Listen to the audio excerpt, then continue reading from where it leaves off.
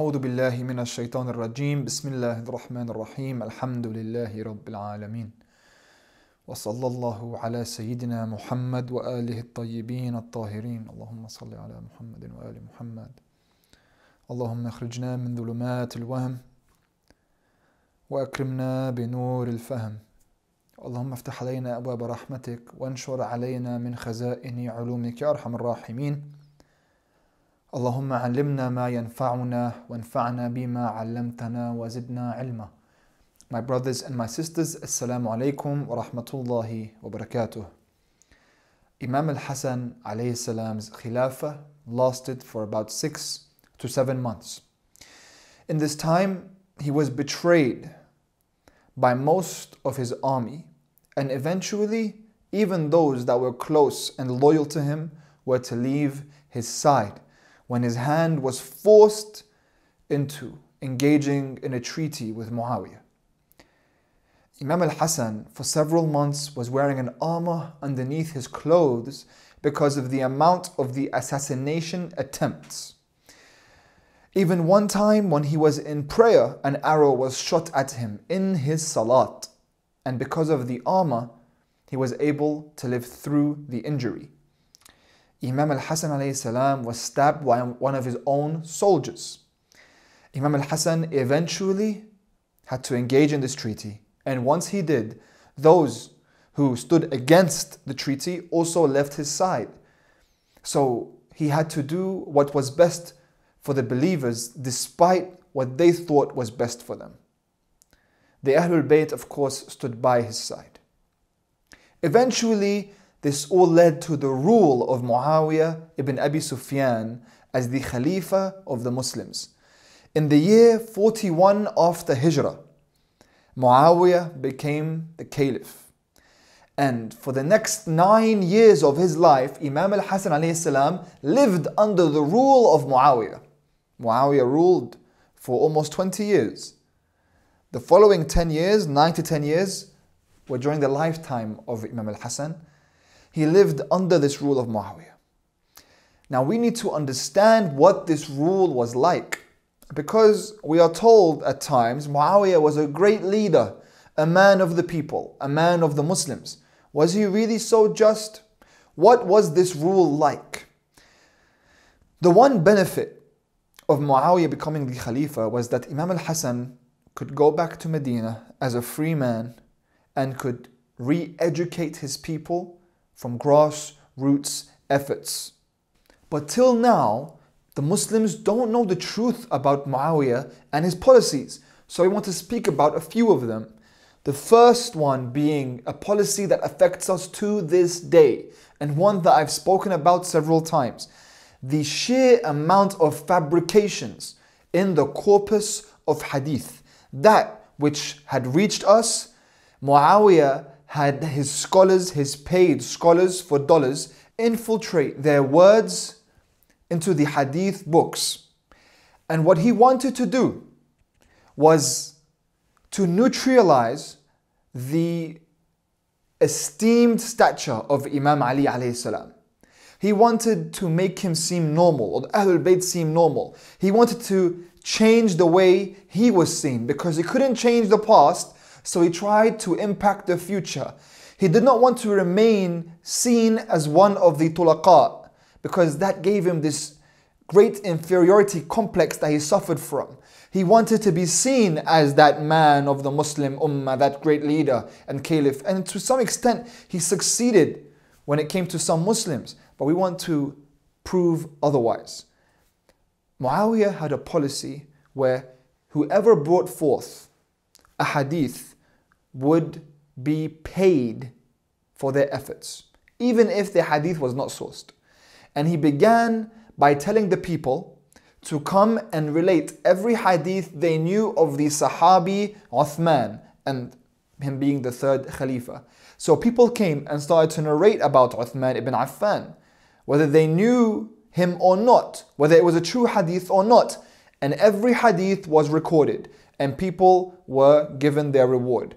Then the second stage was to narrate general hadith about all Sahabis. So all companions, everyone who claimed to be a companion, would come, people would come and narrate about these companions, narrate about how great these men were. So hundreds and thousands of hadith showed up without sources. There were professionally, professional storytellers at the time known as qassasun. These people used to narrate stories in the most effective of ways. It was like an event, people would crowd around them and they would narrate. So these storytellers started to come and narrate hadiths, hadiths that people would follow, that people would base their religion on were now being reported by random storytellers and random people in exchange for money. Muawiyah even sought out a scholar by the name of Samarat ibn Jundub. And this man, he had authored a book known as Al-Ithq al-Yatim. Muawiyah asked this scholar to narrate certain ayat in the Quran about individuals who the Quran spoke of in derogatory terms and he wanted him to say that these individuals were actually Imam Ali alayhi salam. So Muawiyah told him, I will pay you 100,000 dinar to do this. And the man refused. He told him, I'll pay you 200,000 dinar to do this. Again, the scholar refused. 300,000, he refused. 400,000 dinar, finally he accepted. And so he went to the Quran and he went to the ayah 204 from Surah Al Baqarah and he read that the words of Allah subhanahu wa ta'ala that he spoke of in that ayah about an individual where Allah says وَمِنَ النَّاسِ مَنْ يُعْجِبُكَ قَوْلُهُ فِي الْحَيَاةِ الدُّنْيَا وَيُشْهِدُ اللَّهَ عَلَى مَا فِي قَلْبِهِ وَهُوَ أَلَدُّ الْخِصَامِ That Allah has said. There are those people who they impress you in their speech. In this worldly life, they talk, and they say that Allah bears witness upon the sincerity in their hearts. But in truth, Allah knows what's in their hearts. And in their hearts, they are the most fiercest of enemies. This man tried to claim that this was about Ali ibn Abi Talib. That Imam Ali was one who claimed good words, but in his heart was evil. Muawiyah would pay them to narrate that these ayat to do tafsir, that these ayat were about the Imam. He wanted to neutralize the Imam. He wanted to make him seem normal. And because he couldn't do that, he tried to make everyone else seem great. So the fabrications, the sheer hundreds and thousands of fabrications, they even reached us today. And that's why we see people who weren't even around the time of the Prophet are generally speaking about what happened in the lifetime of the Prophet as if they were there, as if they saw it. Another policy that Muawiyah would push forward was that of investing into his security forces. There were no security forces before like Muawiyah's, not in the time of the first, the second, or the third Khalifa. He had special police for special laws. So, in the time of Umar ibn Khattab, if some people made some mistakes, of course, they would be punished if they had to be, but their homes wouldn't be destroyed. They wouldn't have their lives and livelihoods destroyed. They wouldn't be taken and tortured. They wouldn't be killed in some cases. Muawiyah had struck fear into the heart of people. And the security forces would often spy and look especially for those they would call turabi. Turabi meant that you were a lover of Abu Turab, a lover of Imam Ali alayhi salam. So the lovers of Imam Ali alayhi salam, they had a special punishment. These spies would literally write down every small action that townspeople would do. Any small mistake was a grave mistake. He would kill on presumption. You were guilty until you were proven innocent. So anyone who truly loved Imam Ali, their life was in utter danger their lives and the lives of their children. We had special forces just for this. And this was the first terrorist government under the guise of Islam. The first time when we see in today, in the modern era, people who claim to run their countries and nations by Islam, but run it in a terrorist fashion, they're following, they're following this methodology.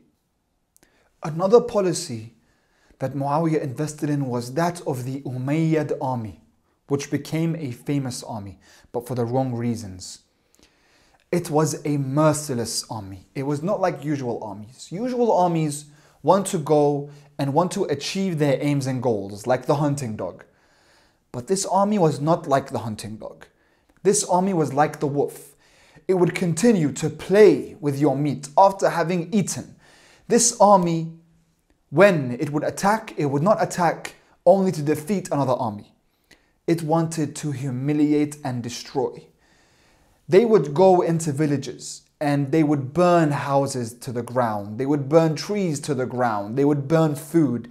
They would kill on sight. They would pillage. They would rape. They would do whatever they had to do to cause chaos and destruction and strike fear into the hearts of people so that no one would dare stand in their way. Muawiyah had built a momentum that he could not stop. He had to keep the pressure on the people because there was a fear of revolt always if he was ever to take his foot off the gas. So it continued and continued in this way that no one would dare stand against the Umayyad army. Muawiyah's policy of wealth even differed than those before him.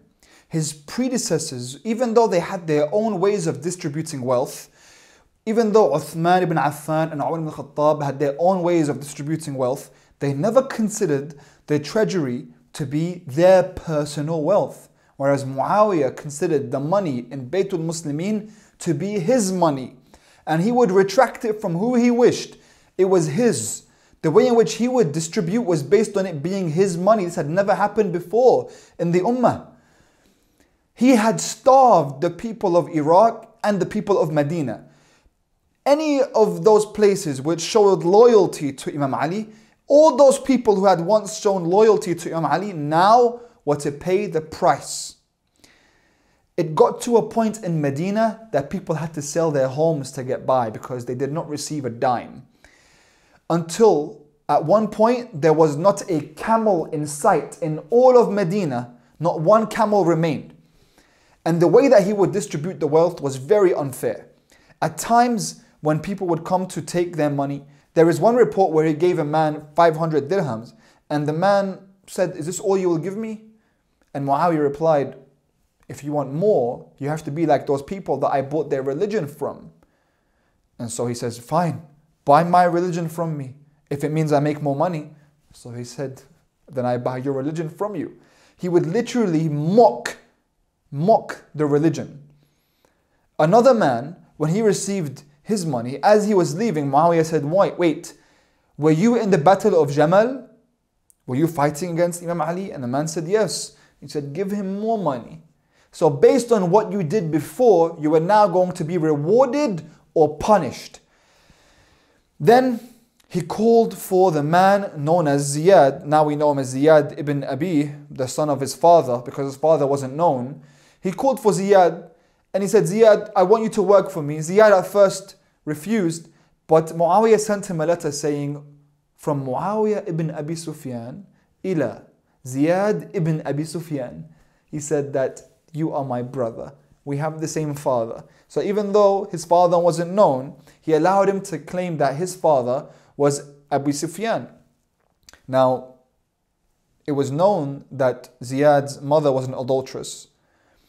And it's known that if you are the son of an adulteress and adulterer, then you cannot lead the Jama'ah prayer. You're known as Ibn Zina. Yet he brought Ziyad ibn Abihi and he made him the governor of Kufa and he made him pray the Jama'ah prayer in front of all the Shia in order to humiliate them, even though the salat was batila and everyone knew it was, they couldn't do anything about it. So Ziyad would do whatever he wanted. Muawiyah wanted to humiliate all those who ever showed loyalty to Ali ibn Abi Talib. And he would continue to hunt them down, or blind them, or cut off their hands, or exile them, or disperse them. The Shia of Ali were never allowed to be united, always dispersed. And Muawiyah made sure that he made the cursing of Ali ibn Abi Talib a tradition. One that you had to follow, that you could not stand against. If you stood against it, then you would also be punished. You had to engage in it. And it became a culture of loyalty.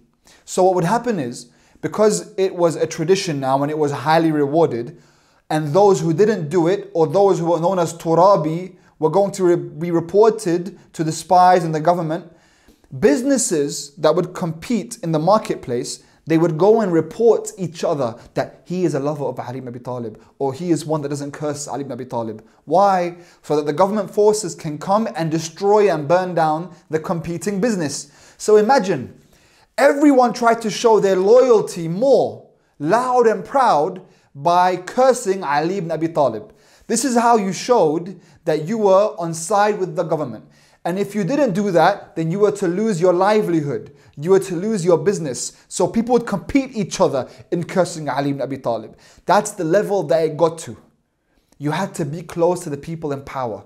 And if you refused, it was no one would happen. Like the great companion Hujr ibn Uday, the companion of Imam Ali alayhi salam, he refused and he stood against the cursing of Ali ibn Abi Talib. And he was a man of great stature. He was a famous tribesman. He was of great stature amongst his clan, and he had a large clan, he had a large group of friends. Him, he and his group were taken and they were to be killed because they refused to stand, they refused to remain silent in the face of this tyranny and they refused to curse Ali ibn Abi Talib and they spoke against it. You were not allowed to speak against it.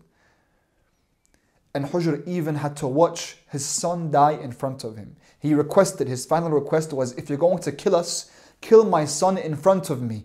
So I make sure that he does not become weak at the point of death and turn his back on his master, Ali ibn Abi Talib.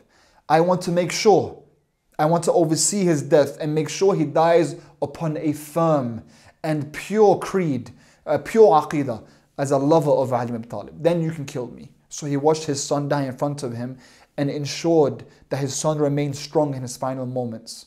And then they killed his son and they killed Hujr. Again and again and again. The Shia of Imam Ali salam were hunted down and oppressed. These were very difficult 10 years under the rule of Muawiyah whilst Imam al-Hasan salam was still alive. But even though these difficulties resumed, Imam al-Hasan salam was able to use his freedom to his advantage to re-educate the people. And he was succeeding and the people began to gravitate towards him more. Some people would even regret their stances 10 years ago. And Muawiyah saw what was occurring. And those around Muawiyah saw what was occurring. And Amr ibn al-As came to Muawiyah and told him, we have to stop him in his tracks. We can't continue to let him go around and speak to people the way he's doing. If he continues, there may be a revolution. So Muawiyah told him, What do you suggest we do? So Amr said, Call him to us. Let's have a gathering and call him and humiliate him. Let's bring him down. Muawiyah told them they wouldn't succeed if they tried to go head to head against Imam al-Hasan salam publicly in speech. But Amr, but Amr ibn al-As wanted to try anyway. So they had gathered Muawiyah with Yazid ibn Muawiyah, with Walid ibn Uqba, with Amr ibn al-As, with many of those enemies of the Ahlul Bayt gathering and cursing Ali ibn Abi Talib, a gathering of curses. And they sent for Imam al-Hasan salam to come towards them. Imam al-Hasan was told about this gathering and told that they were waiting for him. And he knew these people who hate him and hate his father had something in store. They were planning something. So the first thing the Imam did was look to the heavens and ask Allah subhanahu wa ta'ala for aid. In a time when enemies surround you and Allah is with you, there is nothing to fear. And so Imam al-Hasan alayhi salam, with a heart of courage, goes towards this group of men. And as soon as he enters into their presence, Amr ibn al-As looks at him and says, Your father is the one who is to blame for the deaths of the three previous Khalifas. Imagine, it's been 10 years since Muawiyah has been a Khalifa. And now they're trying out of nowhere just to bring something to start to hassle Imam al Hassan salam. Your father is the one who's to blame for the deaths of the first three Khalifas, and you are a fool just like he was. They called him and his father fools. And I find it hard to even say the word that he said in the Arabic language. So he called him a fool, called his father a fool, and then he began to curse Ali ibn Abi Talib in the presence of Hassan al-Mujtaba alayhi salam. Imam al-Hassan looked at Amr ibn al-As and said, Ya Amr, before you come to talk about my father, shouldn't we know who your father even is? Why are you speaking about people's fathers? When you are known as Ibn al-As only because you chose al-As ibn Wa'il to be your father. It could have been anyone between him and Abu Sufyan and Walid and all these other men that could have been with your mother. She was known. Her occupation was known. Before you come and speak about my father or someone else's father, where do you come from? What's your lineage. Pipe down. He struck Amr ibn al-As straight back. Walid ibn Uqba also tried to speak. Several of them came and tried to speak. Another one of the group came and intervened. Imam al-Hassan looked at him and said, Who are you? Are you even relevant? What do you have to do in this conversation? You remind me of a mosquito that is on a tree. When it flies off, it wants to announce that it's flying away, and the tree didn't even know it was there in the first place. What's your place here? Irrelevant.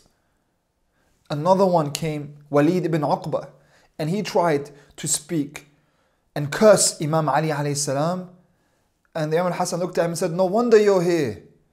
It's obvious after your father was struck down by my father in Badr, and after my father lashed you for praying Fajr with four rak'ahs and praying drunk.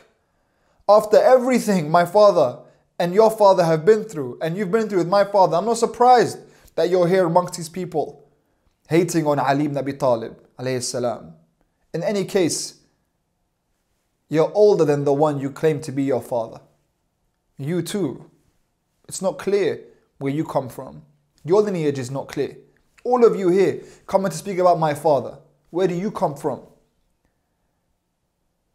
Everyone was dumbfounded. They sat down speechless. Imam al Hasan's sharpness of tongue struck them down and he applied the hadith. If you cannot change oppression with your hand, then change it with your tongue. If you not, if you cannot change it with your tongue, then with your heart. Imam al Hasan's tongue was a sword on that day. And they didn't approach him again, but they had to do something. And as Muawiyah's time was coming to an end, Muawiyah saw his death was approaching. And he wanted to ensure that Yazid would be the Khalifa after him. So one by one, he would identify all of those that could contest and compete with Yazid as the leader. And so he looked around and saw that Sa'ad ibn Abi Waqqas was one of these people that could compete with Yazid ibn Muawiyah. Sa'ad was one of the six in the Shura of Umar. Sa'ad ibn Abi Waqqas is the father of Umar ibn Sa'ad, the one who would lead the army on the day of Karbala. That's how close to home it was. Umar ibn Sa'd, his father Sa'd ibn Abi Waqqas was one of the six in the Shura of Umar, along with Imam Ali alayhi salam and Umar ibn Khattab and Uthman ibn Affan. Now we have Sa'd ibn Abi Waqqas that was killed. We have Abdul Rahman ibn Khalid ibn Walid, because his father Khalid was a famous great warrior. So Abdul Rahman could contest with Yazid and he had him dealt with too. And he had several attempts to get rid of Imam al-Hasan salam. However, the first one or two times Imam al-Hasan had taken poison, he had survived. Muawiyah wanted to torture Imam al-Hasan mentally and also he wanted people to stop loving him. It wasn't enough just to kill him. He wanted people not to be loyal to him. Because over those 10 years, Imam al Hassan was able to garner loyalty once again, especially with his name as the son of Prophet Muhammad sallallahu alaihi wasallam. He wanted to get rid of this, so he ensured that the governor of Kufa would often and Medina would often curse Imam Ali alayhi in the Friday prayer, and Imam al Hassan would have to attend this prayer. So he had to attend watching people curse his father. Aside from surviving those assassination attempts, it seemed that the way Muawiyah would succeed was to infiltrate into the close circle of the family of Imam al-Hasan And he organized with one of the wives of the Imam to betray him, Ju'da bint al-Ash'ath, to organize poison into the iftar of Imam al-Hasan on a day that he was fasting. That when he would come to break his fast, she would put the poison into his food and leave. Once Ju'da had left, Imam al-Hasan had sat down to take this food into his mouth, to drink and quench his thirst, his parched lips. And as soon as he began to eat and swallowed his food, the poison had entered his body and began to attack him from the inside. A poison that would destroy whoever was to take it in was put into the food of Imam al-Hasan. As soon as Imam al-Hasan felt that sharp pain in his body, he dropped to the ground. Imam al-Hussein saw him and ran to his brother. He said, brother, tell me, what's wrong? And the Imam would have blood coming out of his mouth. And so he told him, brother, I've taken poison into my body once again, but it's different this time. I've never felt anything like this. And he would squirm, moving side to side. Imam al Hussein was holding him and told him, Tell me, who was it? Who did it? And Imam al Hassan told him, Brother, don't think about that now. Leave them to Allah. Bring me a bowl. Let me cough my blood into the bowl. So Imam al Hussein brought the bowl.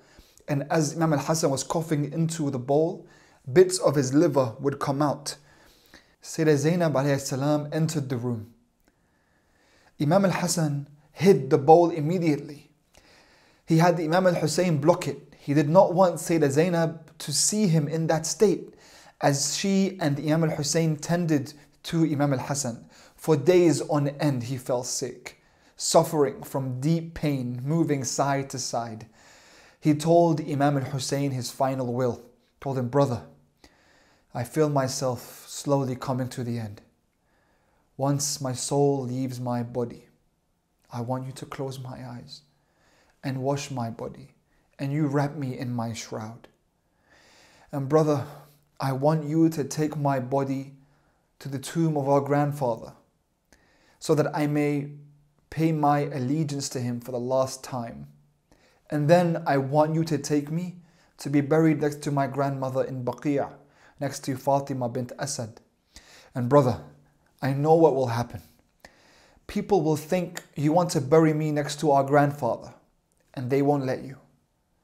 So, as my request to you, do not let even a drop of blood be shed in my name amongst the Muslims. I don't want you to fight. That's my request. And Imam al Hussein told him, I accept whatever you request of me, my brother. As he held him, Imam al Hussein began to weep. Imam al Hassan told him, Brother, why are you crying? Imam al Hussein replied, Because of what I see, because of your state, because of the pain that you're in. When you're in pain, I'm in pain. Imam al Hassan told him, Brother, it's true I took poison. It's true that I'm in pain. And it's true that I'm going to leave this world shortly. But there is no day like your day, Ya Aba Abdullah. لا يوم كيومك يا أبا عبد الله on that day where you will be surrounded by 30,000. I won't be near you. I won't be next to you. I wish I could be. When they take your women and children captive, I wish I could be there to defend you. But I won't be there. You cry for me now, but on that day, the skies will weep for you, and the beasts of the wild will weep for you. and the whales of the sea will weep for you. And in that moment, imagine Imam al Hassan is weeping for his brother Hussein, and Imam al Hussein is weeping for his brother Hassan.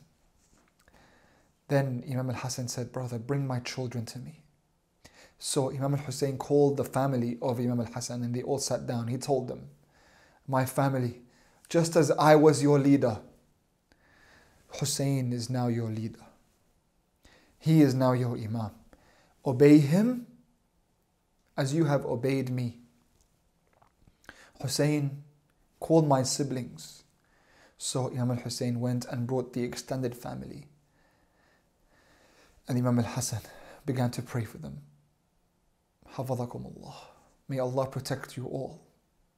I say my goodbyes to you now. Allah is sufficient for me to take care of you. Allah is my vicegerent upon you. Allah will bless you and He will protect you while I am gone. He began to say his goodbyes to everyone and ensure that they all pledge allegiance to Imam al Hussein salam. And as Imam al Hussein held him tightly and held his shirt tightly in his arms, hand in hand, he had tightly gripped his palms. He felt it loosen bit by bit until it was completely loose.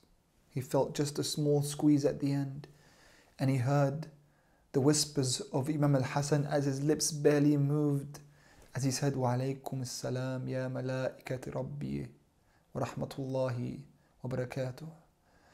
He was sending his salams upon the angels as his soul left this world.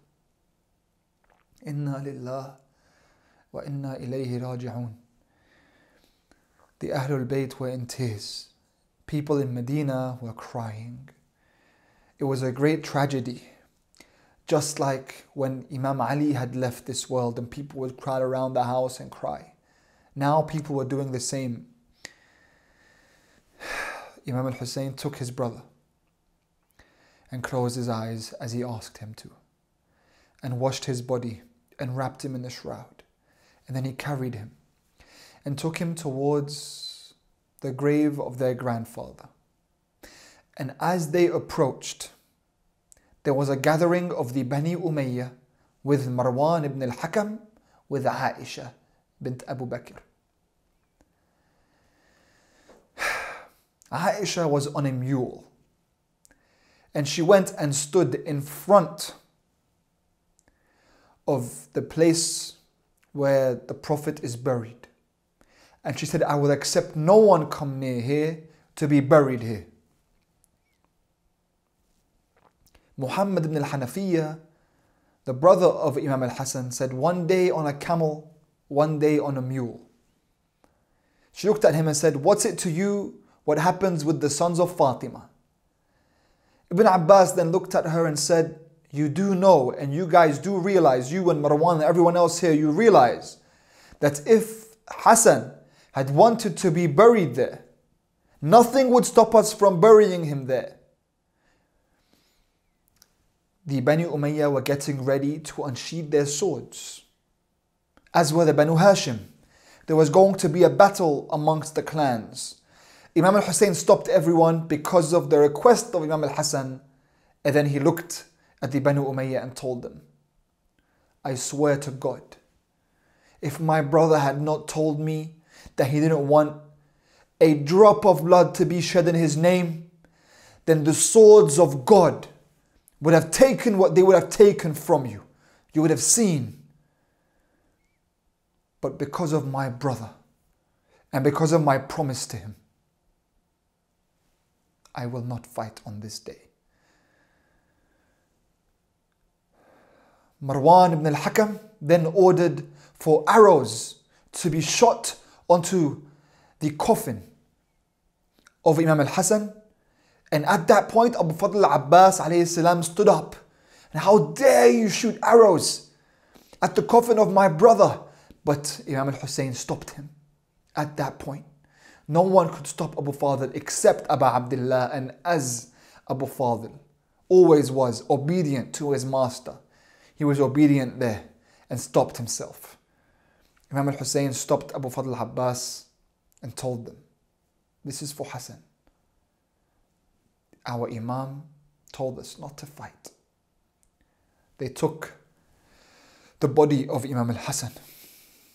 Very painful moment to know that when the Prophet was dying, there was an election.